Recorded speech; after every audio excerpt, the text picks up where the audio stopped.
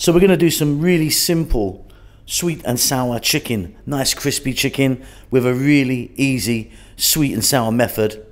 Absolutely delicious. Welcome back to How to Cook Great. So what we have here is some chicken breast, no skin, no bone. Cut that into nice thin, long strips. We've got eggs there, I've got three eggs, and here I've got cornstarch or corn flour, same thing, and salt and pepper. What I'm gonna do is I'm gonna mix the salt and pepper in there just so we get a bit of a seasoned flour and then we can get moving. So we've got our salt and pepper into our corn flour or cornstarch. You could use a different flour if you want, like wheat flour or potato starch. And also you could, if you want, add some five spice, you know, um, powder in there, or maybe some star anise to give it a bit more of an Asian flavor. I'm just going with the salt and pepper. So I've got about, I think there's like three or four cups of the flour. We've probably got too much of everything. Anyway, what we're going to do is we're going to get our chicken and we're going to get it in. We're going to just coat it up, just give it a little basting like that. Set it to, to one side.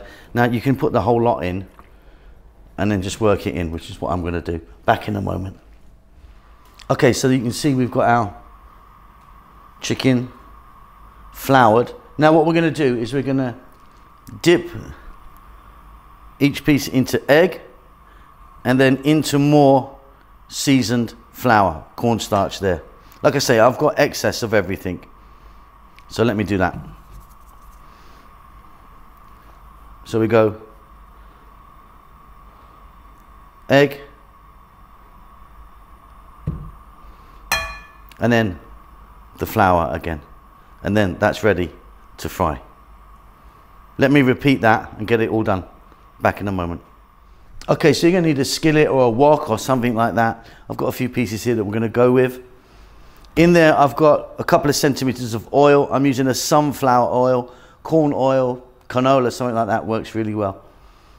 What we're to do is take the chicken and we drop it in and we don't crowd the pan or it'll all stick together. So we're going to have to do this in quite a few batches because I've got quite a bit of chicken there. And it's going to take just like four to five minutes max. Like I say, really nice thin strip, so it'll cook really quickly.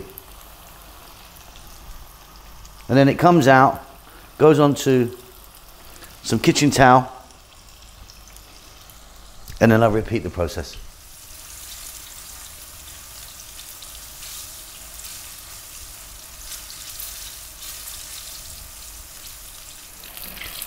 Okay, and that's perfect. They're nice and crispy. Really good. Out they come. And I'm going to repeat the process until they're all done. Okay, so there we go. Now, we've got enough chicken there to do two videos, two recipes. So you're going to see this one and another one. But yeah, really crispy and beautiful. Let's move on. So we've got our chicken there, as you can see. And by the way, you can eat that chicken just like that. It's absolutely delicious. So you can see I've got two lots of onion. There's, there's a cup each of a white onion because we're going to fry some and put some in right at the end. Bell peppers, about a cup of those. Again, cut in the same fashion as those. Some green onions there, about a cup. Tablespoon roughly of ginger and garlic. Uh, my ginger, I've just sliced it quite big today. You can chop it really small if you want. And then these guys here, these are three tablespoons each of a white vinegar, tomato ketchup, oyster sauce. So a wok, a skillet, a frying pan. In there I've got three tablespoons of oil. I'm using the sunflower oil. Use something different if you want. The heat is on. We're going to get our garlic and our ginger in there. And like I say, you can see that I've cut my ginger like this. And if you want, you can cut it really small. We're going to go in with one cup of onion, the first lot. Like I said, we're going to add some more a bit later. We're on a high heat. We're going to add some black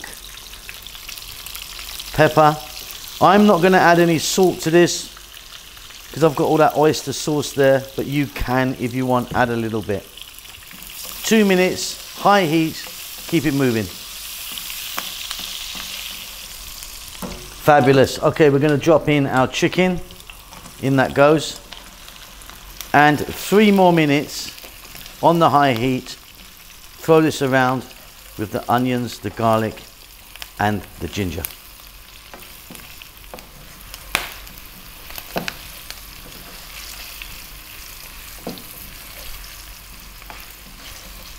Okay, let's get in the bell pepper. Let's get in the other onion.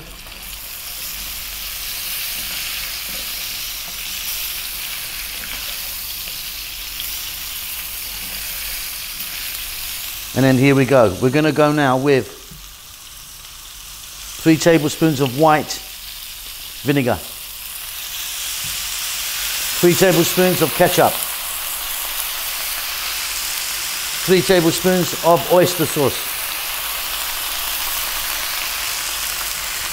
To that, I'm going to add a little splash of water.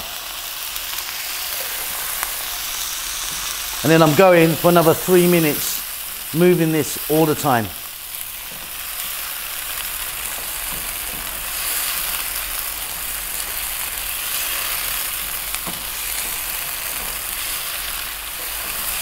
Fantastic. Off goes the heat.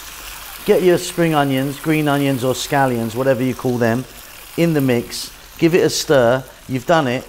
Well done. Let me get that on a plate. So white rice or some noodles, fabulous. Well done, everyone. That's delicious. Hope you enjoy that. You keep safe and you keep well. I'll see you very soon. Lots of love. Well, well done for making it to the end of the video. I really appreciate it. I appreciate all of you that follow the channel on a regular basis. You know who you are. There's loads of you. I'm cooking away like non-stop. As you can see, I've got some lovely food right in front of me here.